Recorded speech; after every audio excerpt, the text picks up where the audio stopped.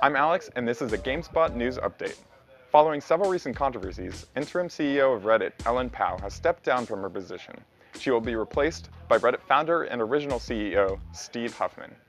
In a post on Reddit, board member Sam Altman explained that Pao was resigning following mutual agreement with the board of directors. The board has chosen Huffman as the next head of Reddit.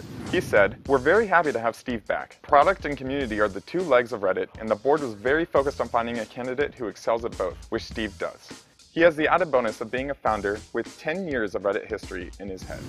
Pao's resignation follows two decisions that sparked outrage among the website's community. In June, the Reddit administration banned five subreddits for offensive material. Then, the website fired a popular admin who helped coordinate Ask Me Anything threads with famous scientists, actors, and other celebrities. Both of these decisions caused widespread anger among the community, and a Change.org petition calling for Pao's resignation has accumulated over 200,000 signatures. Steve Huffman, the new CEO, has promised several improvements to Reddit, including more moderation tools and a better mobile site. What do you think of the changes? Let us know in the comments below, and for more news, keep an eye on GameSpot.com.